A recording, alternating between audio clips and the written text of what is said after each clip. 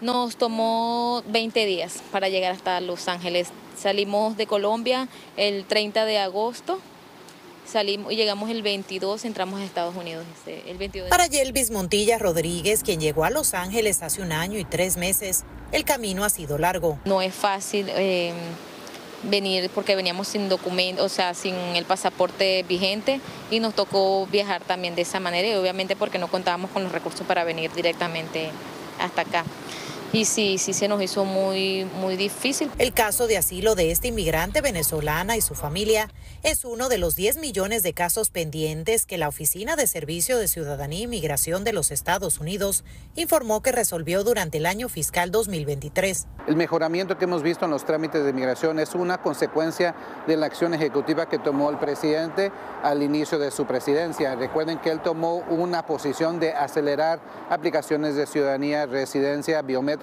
y también procesos de asilo.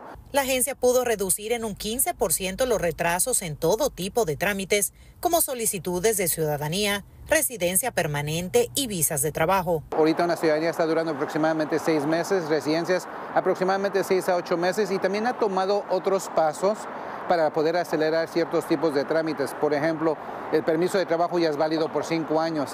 La necesidad de tomar las huellas no es tan común como antes. Las puedes reprogramar por la computadora. Según el informe, USCIS atendió un número récord de más de 100.000 entrevistas para quienes solicitaron refugio. También realizaron más de 146.000 evaluaciones de temor creíble para peticiones de asilo. Jelvis dice que ahora se siente más tranquila. Hasta ahora ya todo bien, este, mi esposo está trabajando, yo todavía no por lo que estoy cuidando del bebé.